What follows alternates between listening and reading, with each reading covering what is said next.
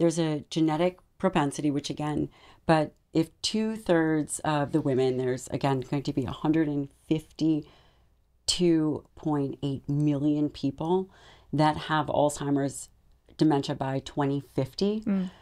What are the influences? So, for, you know, according to the CDC, when we talk about exercise, which I think is really important work, we always talk about muscle health and exercise as it relates to um, looking good, being jacked, but it is so much more valuable than that. And probably nothing creates more influence.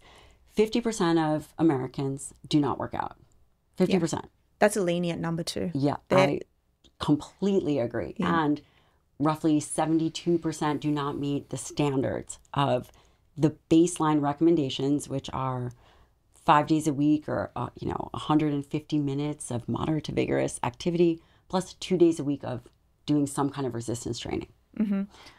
What impact does exercise have on the brain? And is there a difference between cardiovascular exercise or resistance training? Mm. Because if we already know that the majority of the population isn't even meeting the baseline recommendations, Yeah, and this comes into public health policy, which is something I'm advocating strongly for.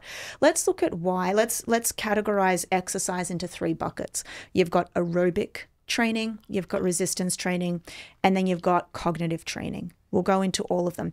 We have seen in the last 30 years, we've seen a huge push for cardiovascular training. Why is that? Well, first and foremost, it's easy.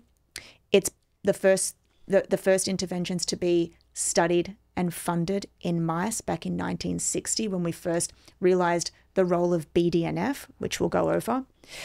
I also think that it's a it's so much more accessible to people. cardiovascular activity. cardiovascular activity because you can just get outside you can run i think the the nomenclature around resistance training becomes very intimidating especially among women i mean you and i don't fall in this category i've been you know weight training my entire life so i'm not never worried at the gym but i do know that there are many women who are intimidated to go to the gym and lift weights If you were to pick one thing, if you were to say, okay, I, and this is a hard question, and we don't have to pick one thing, but if you were to have, if you were going to choose between cardiovascular activity, resistance training, high intensity interval training, what would you say seems to be the most efficacious for brain function? Oh, yeah, you're putting me in such a bad spot. I mentioned that I'm currently doing my doctorate, and it is really much focused on resistance training and cognitive decline. However, I would I would definitely not consider HIT training hmm. in that. I would strongly look at at minimum 4 hours a week of aerobic hmm. and at minimum 3 days a week of resistance training. And have you thought about the mechanisms as to why?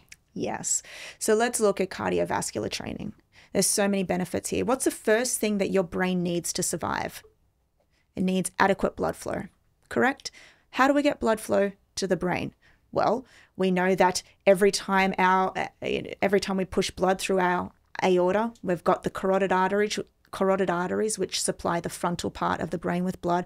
We've got the vertebral arteries supplying the back end or the posterior part of the brain. So your brain needs blood flow to survive. We get this predominantly from aerobic training because every time we move our body, we're pushing blood.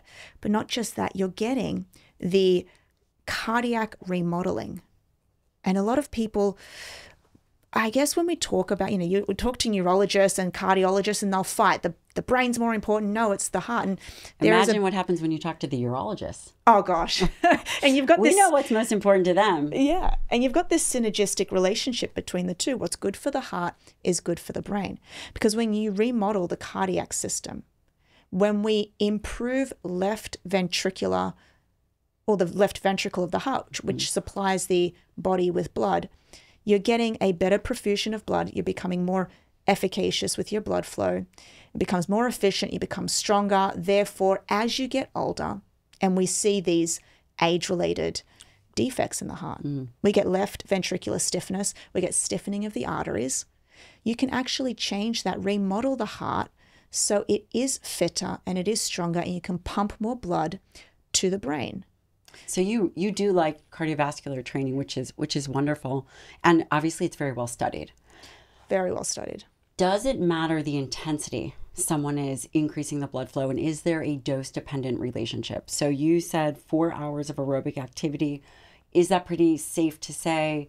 Um, it could be less if the intensity is higher, or is there some a time component, like a dose dependent component? Yeah, in fact, the studies, and this is what I found in the paper that we collaborated on, it said that um, minimum three three hours. Um, I lobby against that. I, I lobby against these CDC guidelines all the time, which are recommending 150 minutes to 300 minutes of moderate to vigorous physical activity. If you were to tell my mother that, she'd say, What are you talking about? Absolutely. So the nomenclature needs to change. Now, in exercise physiology, we learn about zones. You've got zone one, which is we're sitting down right now in zone one. Zone two is where I think we should all be training at. I can't see actually why we need to dip into the zone four for more than 35 minutes a week. There are so many people right now I'm seeing on social media hitting the gym, doing HIT training, getting into zone four, zone five, whatever zones you want to work in. Zone four, let's just call that your maximum. They're beating at zone four every single day and they're seeing diminishing returns. You don't like that? No, I don't see why you need to do that. However, But is there any downside? well, I mean, you overtraining, you'd probably you've got the mental component where you feel like, oh my God, it's just too hard to get up every day. You know this with your patients. What's mm-hmm. the biggest behavior change? It's something that someone can put into place every day, right? If we're going to get behavior change, we need to fit it to something, a protocol or administer something where somebody can do it every single day. Not just that, the only reason why I think this is problematic let's talk about the positives of it. So, maximal aerobic exercise. Um, Dr. Ben Levine, he's a, a cardiologist, phenomenal, phenomenal physician. He did a study where he took 53 50 year olds, 50 year olds, and he subjected them to maximal aerobic activity. I think it was around three to four hours a week.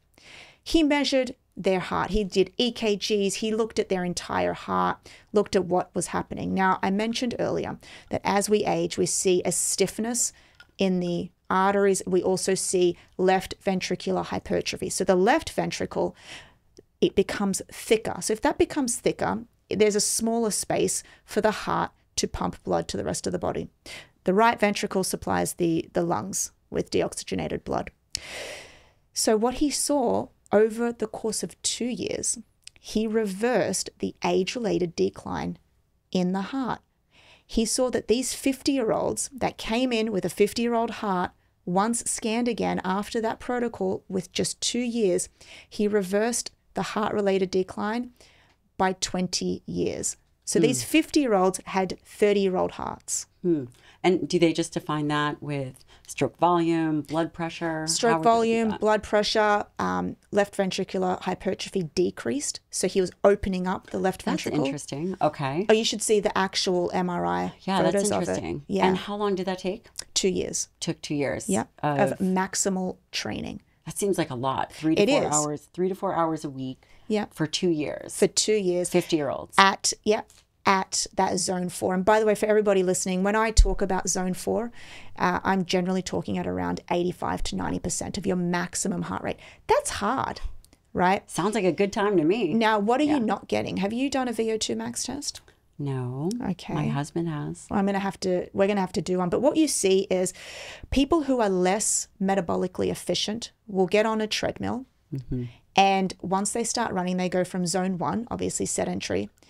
Those who are less metabolically efficient go from zone one to zone three to zone four. They skip zone two. So, zone two is the sweet spot. And this is a spot that is so easy. It's at 65% of your maximum heart rate. It's actually defined as two millimoles below, hmm. below two millimoles if you take a, a lactate test, which we do as well. And it's really easy to do. That's where you want to be training. It's basically when you're walking really fast or running, depending on how fit you are, but you can hold a conversation with another person.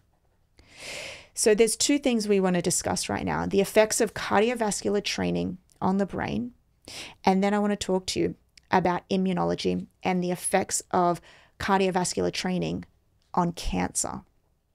Yes, beautiful, please. beautiful work.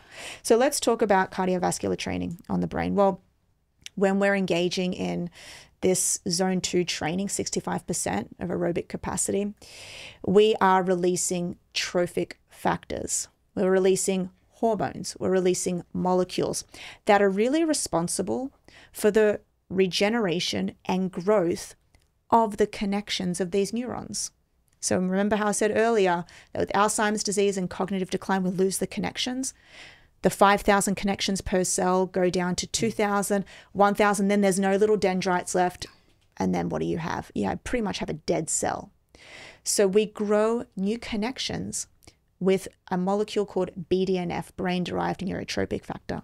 In fact, Marian Diamond back in 1960s, early 1960s was the first one to discover this. She she, she obviously she got um, rats and she subjected the rats one to an environment that was really depressing in a room where they had no wheels to run and not not an enriched environment. Then she took the mice and put them in an enriched environment. Wheel running, they had little stairs to climb. And what she saw was that over the course of her study, she saw that when these mice are placed in an enriched environment, they grow the connections. That's what we're looking for. They grow the connections. They also grow the hippocampal volume. Okay, so you're growing bigger hippocampi. Hmm. You're also growing new neurons. So BDNF is responsible for this.